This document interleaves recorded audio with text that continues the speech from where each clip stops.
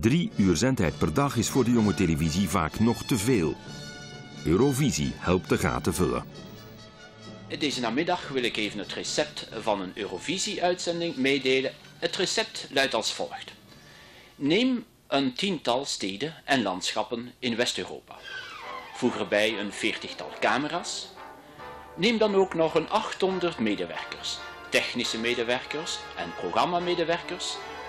Uh, overgiet alles met een sausje van 15.000 kilometer straalverbindingen.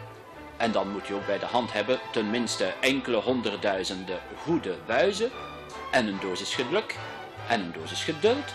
En dan krijgt u een Eurovisieprogramma dat een tachtigtal minuten duurt.